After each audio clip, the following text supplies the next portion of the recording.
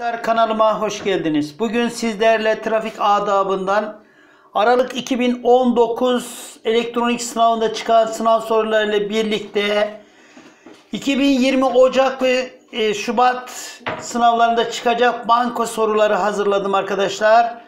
Sizler için hedef başarıysa doğru yerdesiniz. Hedefinizi yakalayın arkadaşlar. Sınavlarınızda başarılar diliyorum. Sorulara başlıyoruz. Sorulara başlamadan önce tabii ki trafik adabını tekrar ederek devam ediyoruz. Trafik adabı nedir?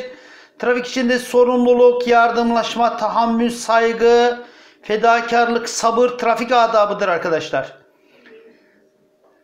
Trafikte temel değerler var biliyorsunuz arkadaşlar. Sorumluluk, yardımlaşma, tahammül, nezaket, saygı, feragat, fedakarlık, sabır, trafik kültüründe birbirini uyarma. Bugünkü konumuz arkadaşlar feragat ve fedakarlıktır. Ee, her konular e, soruda biliyorsunuz trafik adabı sorularında. Trafikteki temel değerleri tekrar ederek devam ediyoruz. Evet feragat ve fedakarlık nedir arkadaşlar? Bir amaç uğruna ya da gerçekleştirmesi istenen herhangi bir şey için kendi yararından vazgeçme kendi isteğiyle vazgeçme, özveri anlamına gelmektedir biliyorsunuz. Bazı durumlarda trafik ortamında hak kendinizden yana olsa bile hakkınızı diğer sürücülere vermek size bir şey kaybettirmeyeceği gibi daha huzurlu bir trafik ortamı sağlar biliyorsunuz. Tali yoldan örnek, tali yoldan ana yol kesişmesinde geçiş hakkı ana yolda seyreden aracın dır biliyorsunuz her zaman. Ana yolda kalabalık bir trafik içinde ilerleyen sürücüler tali yoldan gelmekte olan diğer sürücülerin geçiş hakkını e, diğer sürücülere geçiş hakkı verdiği zaman herhangi bir şey kaybetmeyecek. Karşılığında tali yoldaki araçların birikmesini önlemiş olacaktır. Bunun için e, kesinlikle arkadaşlar e, tali yoldaki araçların birikmemesi için e, zaman zaman ana yolda hem de tali yolda trafik tıkanacaktır. Bu sonuçtan dolayı herkes zarar görecektir. Bunlara da dikkat etmekte fayda var. Evet birinci sorumuzdan başlayalım arkadaşlar. Birinci sorumuz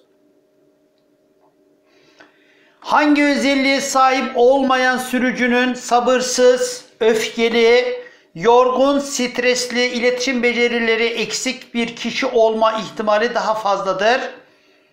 A. Bencil B. Hoşgörülü C. Aşırı tepki gösteren D. Görgüsüzce davranan Evet. Burada arkadaşlar dikkat ederseniz cevabımız açık ve net. Bursa'da verilen hoşgörülü. Evet. ikinci sorumuza geçelim. Trafik ortamında bazen hak kendinizden yana iken bile bu hakkınızı diğer sürücüye vermek size bir şey kaybettirmeyeceği gibi daha huzurlu bir trafik ortamı sağlamaya katkıda bulunacaktır. Yukarıda açıklama trafikteki temel değerlerden hangisine aittir? A. Sabırsızlık B. Saldırganlık C. Tahammülsüzlük D. Feragat ve fedakarlık. Evet. Burada dikkat edersek arkadaşlar hangisidir? Evet. Denizli arkadaşlar. Feragat ve fedakarlık. Evet. Devam ediyoruz. Diğer gamlık nedir? Diğer gamlık kendinden çok başkalarını düşünen, başkalarının iyiliği için fedakarlık yapandır. Kendisinin ihtiyacı olduğu halde başkasını kendine tercih etmek, başkasını kendinden daha çok düşünmek diğer gamlıktır.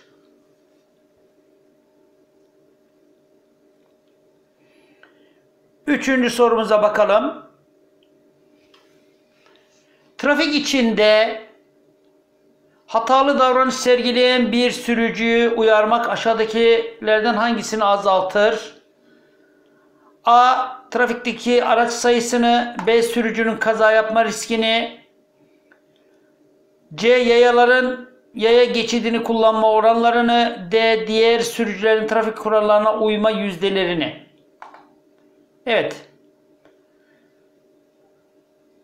Trafik içinde hatalı davranış sergileyen bir sürücüyü uyarmak hangisini azaltır arkadaşlar?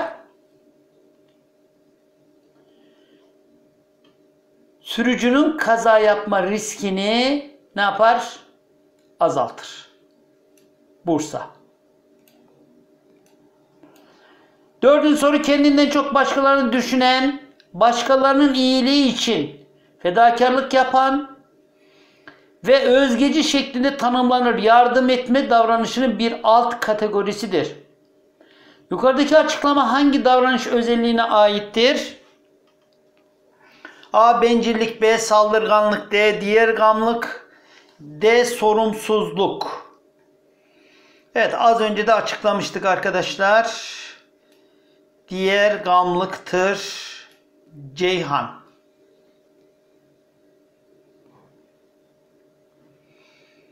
Evet beşinci soruya geçmeden önce empatiyi tekrarlayalım. Empati bir olay ya da bir durumda karşımızdaki kişi hakkında herhangi bir yargıda bulunmadan önce kendimizi onun yerine koyarak olayı, durumu onun gibi yaşamamızdır empati. Empati basit, basit tanımıyla kendimizi karşımızdakinin yerine koymak, onun duygu ve düşüncelerini anlamaktır. Kendine yapılmasını istemediğin şeyi başkasına yapma. Empatidir. Evet. Hedef başarıysa doğru yerdesiniz arkadaşlar. Kanalıma abone olup videoları beğenmeyi unutmayalım arkadaşlar. Sorularımızı çözmeye devam ediyoruz. Evet. Beşinci sorumuz. Aşağıdakilerden hangisi trafik kazalarının ülke ekonomisine verdiği zararlardan biri değildir? A. Trafik işaretlerinin hasar görmesi. B. Karayollarının zamandan önce yıpranması. C. Trafik suçlarına uygulanan cezaların artırılması. D. Yol kenarındaki otokorkulukların tahrip olması. Evet. Burada dikkat ederseniz trafik suçlarına uygulanan cezaların artırılması ülke ekonomisine verilen zararlardan değildir. Ceyhan. Altıncı sorumuz. Aracını kaldırıma park etmiş bir sürücü diğer yol kullanıcılarının kaldırımı kullanmasına engel olduğu gibi kaldırımı kullanmayan yayaların araç yoluna çıkmalarına neden olmaktadır. Oysa ki nokta nokta düzeyi yüksek bir sürücü kendini yaya olan yol kullanıcısının yerine koyar ve aracını kaldırma park etmez. Verilen ifadede boş bırakılan yere aşağıdakilerden hangisi yazılmalıdır? A. Öfke B. Empati C. Bencillik C. D. Sorumsuzluk. Evet. Burada empati düzeyi yüksek sürücü kendini yaya ve yol kullanıcılarının yerine koyar ve aracını kaldırma park etmez arkadaşlar. Bursa.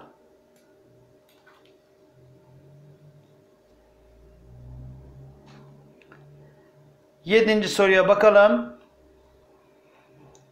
Trafikte yaşanan öfke duygusu verilenlerden hangilerine yol açabilmektedir? A. Kural ihlaline, ihlallerine 2. Tehlike, davr tehlikeli davranışlara 3. Güvenli sürücülük yeteneklerini olumlu yönde etkilemeye. Öfke duygusu kural ihlallerine neden olur. 1. Tehlikeli davranışlara neden olur. 2. Güvenli sürücülük yeteneklerinin olumsuz yönde etkilemesine. 3'ün olduğu ışıkların tamamı eleniyor arkadaşlar. Dikkat edelim. Burada cevabımız Adana. 8. sorumuz sürücülerin trafik içindeki davranışlarının sonuçlarını düşünerek hareket etmesi hali trafikte hangi temel değere sahip olunduğunu gösterir. Kabalık, B hırçınlık, C bencillik, D sorumluluk. Evet. Dikkat ederseniz 3 tane olumsuz, bir tane olumlu cevabımız var. Denizli seçeneği doğru. Sorumluluk. Dokuzuncu sorumuz öndeki araç yol kenarına park etmeye çalışırken arkadan gelen diğer aracın onu beklemesi durumu trafikte hangi temel değere sahip olunduğunu gösterir. Öfke, sabır, inatlaşma, aşırı tepki. Evet.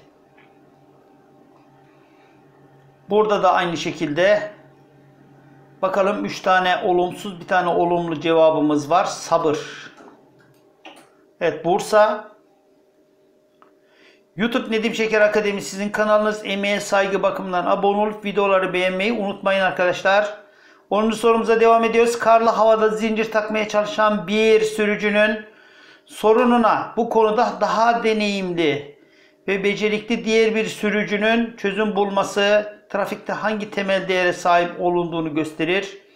A. Trafik kültüründe birbirini uyarma. B. Kendini eleştirme. C. Yardımlaşma. D. inatlaşma. Evet. Burada dikkat ederseniz yardımlaşma söz konusudur. Cevabımız Ceyhan.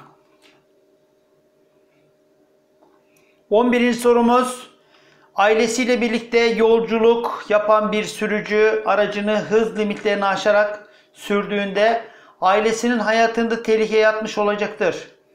Bu sürücü hız ihlalinden kaynaklanan olası bir kazada sevdiklerinin canını riske atmakla trafikte hangi temel değeri yerine getirmemiş olur? Hırçınlık, bencillik, sorumluluk, hoşnutsuzluk. Evet. Burada da yine sorumluluğunu yerine getirmemiş oluyor arkadaşlar. Bursa. 12. sorumuz.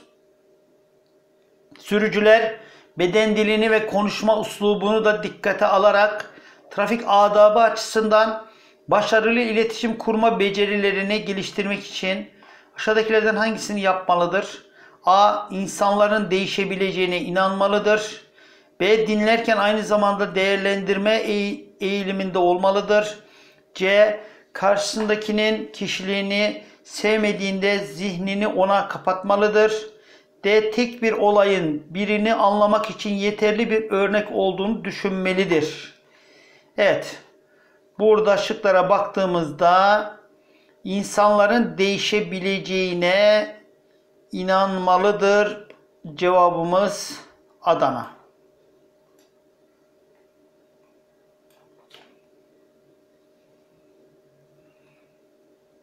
On üçüncü sorumuza bakalım.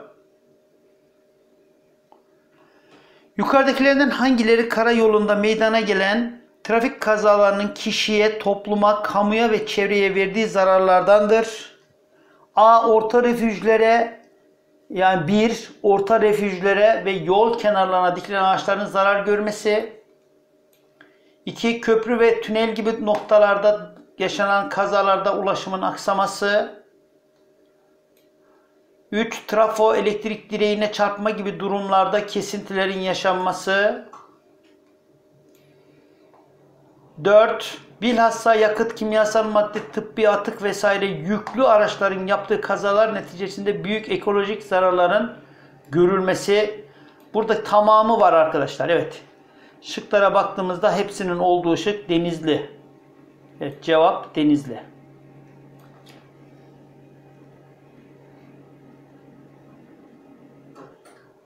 14. sorumuz. Aşağıdakilerden hangisi trafikte bireye yapılan hak ihlallerinden biri değildir? A. En soldaki şeridin sürekli işgal edilmesi. B. Hız sınırlamalarının üstünde araç kullanılması.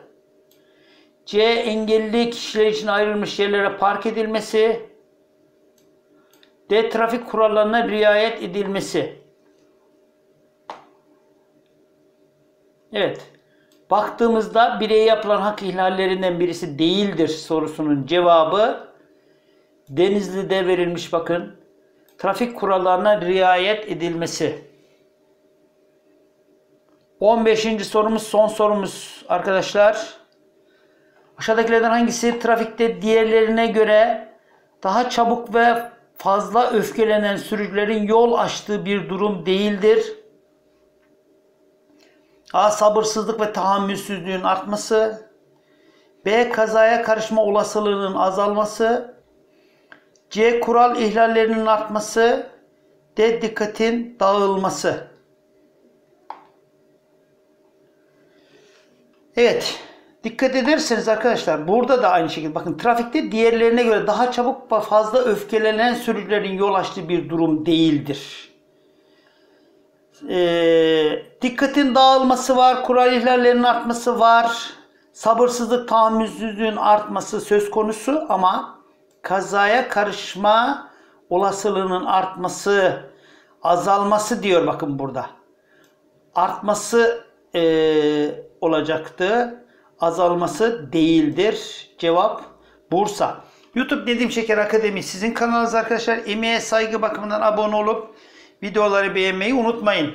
%100 e, elektronik sınavda çıkacak garantili soruları kaçırmayınız. Sınavlarınızda başarılar diliyorum. Hoşçakalın.